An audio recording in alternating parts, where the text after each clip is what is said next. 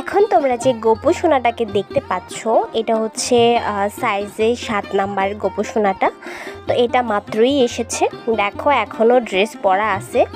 তো আজকে আমি এই গোপু সোনার আইসটা কীভাবে মেকওভার করেছি বা হাতের যে ময়ূরের পালকটা দিয়েছি, সেটা কীভাবে মেকওভার করেছি, আমি এই পার্টগুলো তোমাদের দেখিয়ে দেব। তার প্রথমে এই গোপোষণাটার গায়ে হালকা মেকওভার ছিল, সেটা আমাকে আগে রিমুভ করে নিতে হবে দেন স্নান করিয়ে নিতে হবে। তো তোমরা দেখো, এখানে আমি যে মেকওভারটা তোমাদের দেখাচ্ছি, এখানে মেনলি দেখাবো হচ্ছে চোখের মেকওভারটা তো টুকিটাকি যেসব মেকওভার থাকে, ওগুলা হচ্ছে আমি আগে করে রেখেছি। তোমাদেরকে শুধু চোখের মেকওভারটা দেখাচ্ছি এখন। তো এর মধ্যে হচ্ছে চোখের যে সাদা অংশটা আছে, সেখানে আমরা সাদা অ্যাক্রিলিক কালারটা অ্যাপ্লাই করে নিয়েছি দেন সাইডের বর্ডারগুলো ব্ল্যাক করে দিচ্ছি। যারা আইলাইনারটা একদম চিকন করতে চাও, তারা চিকন করে দেবা, যারা মোটা পছন্দ করো, তারা মোটা করে দেবা। আসলে আর্ট করার সময় তখন অনেক সময় হাত কাঁপে। হাত কাঁপতে নিলে দেখা যায় চিকন করতে গেলেও সেটা আসলে একটু মোটা হয়ে যায়। তো আমারও এই ক্ষেত্রে সেটাই হয়েছে। আমি এখানে ভালোই চিকন রাখতে চেয়েছিলাম, কিন্তু পারিনি। এখানে খানিকটা মোটা হয়ে গিয়েছিল। আসলে গোপোষণাদের যখন আমরা সাজাই, খুব নিখুঁতভাবে কাজগুলো করার চেষ্টা করি বা অনেক সময় নিয়ে করার চেষ্টা করি, আমার একটা গোপোষণা আমি একদিনে শেষ করতে পারি না। এটাকে আমার দুই দিনে করতে হয়, কারণ ভালো একদম ধোয়া জামা কাপড় পরে মানে পরিষ্কার, পরিচ্ছন্ন হয়ে তারপর গোপোষণাদেরকে সাজাতে হয়। এখানে লং একটা সময়ের ব্যাপার আছে। ছোট যে গোপালগুলো আছে, সেগুলার থেকে বড় সাইজের গোপালগুলোকে সাজাতেও বেশি ভালো লাগে। সাজে, সাজানোটা ভালো করে ফুটেও ওঠে। ভালো লাগে সব কিছুতেই ভালো লাগে। আর ছোট গোপালগুলা সাইজে ছোট হওয়ার কারণে ওদের শ্বাসটা অত বেশি ফোটানো যায় না। গর্জিয়াসও করা যায় না। তো সেই তুলনায় যারা বড় গোপাল দিয়ে যায়, তাদের শ্বাসটা একদম মনের মতো করে করতে পারি এবং বেশ ভালো লাগে।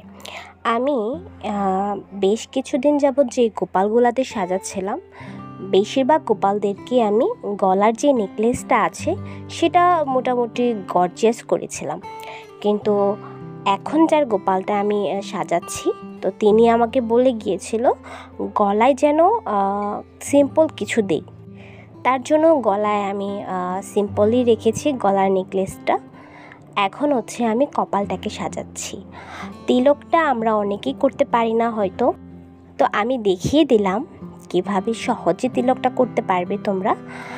এরপর যেহেতু এটা বড় সাইজের কপাল, কপালটাকে একটু গর্জিয়াস করে সাজালে দেখতে সুন্দর লাগে। কিন্তু সিম্পল যদি একদম ফোটা ফোটা দিয়ে যায় সেক্ষেত্রে দেখা যায় কপালটা ফাঁকা ফাঁকা লাগে যেহেতু এটা বড় গোপাল। ছোট গোপালদের ক্ষেত্রে ছোট ছোট ফোঁটা দিলে সেটা ঠিক আছে, সুন্দর দেখায়।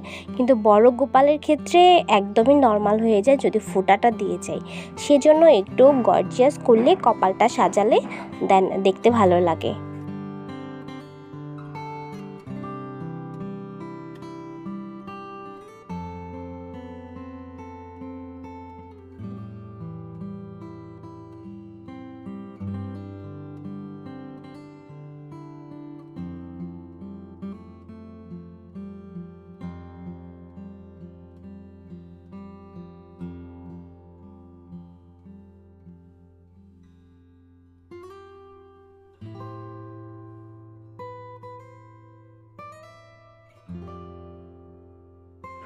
এখন আমি দেখাচ্ছি গোপালের হাতের পালকটা কীভাবে করি। এক একজন এক এক রকমভাবে হয়তো করে থাকবে। আমি যেভাবে করি, আমি তোমাদেরকে সেটাই দেখাই দিচ্ছি। প্রথমে পালকের একটা শেপ দিয়ে নিচ্ছি হচ্ছে সবুজ কালার যে কালারটা আছে সেটা দিয়ে। এর মধ্যে লম্বা লম্বা করে আমি হলুদ কালারটা দিয়ে দাগ টেনে নেব।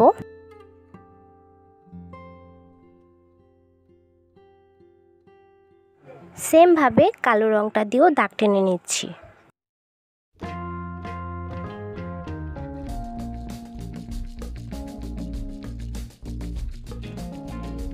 তারপর এখানে আমি নীল রং ব্যবহার করছি। মাঝে একটা গোল একটা ফোঁটা দিয়ে নিয়েছি এবং এটার চারপাশে হচ্ছে আমি স্কাই ব্লু যে কালারটা আছে সেটা দিয়ে রাউন্ড করে নিয়েছি।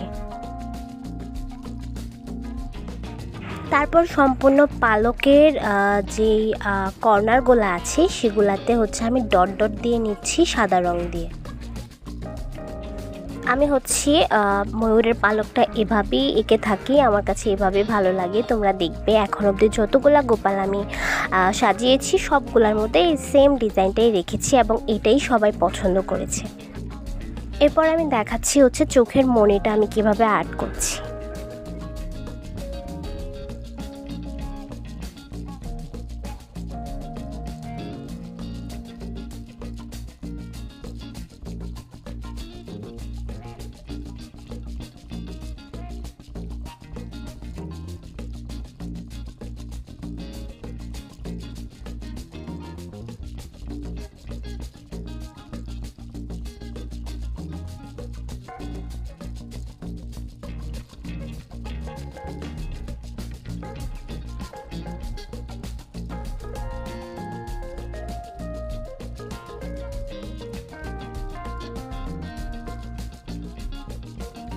তোমরা চাইলে আমাকে কমেন্টসে জানাতে পারো স্পেসিফিক কোন পার্টগুলো তোমরা দেখতে চাও। আমি সেটারই ভিডিও দেওয়ার চেষ্টা করব।